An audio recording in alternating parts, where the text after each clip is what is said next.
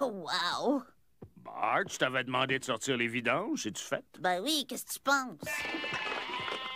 Oh! Hey, les chèvres, là, enlevez-vous de là!